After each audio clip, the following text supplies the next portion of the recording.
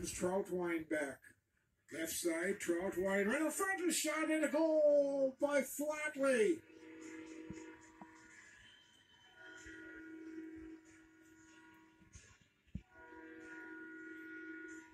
Levi Flatley scores to make it four to one.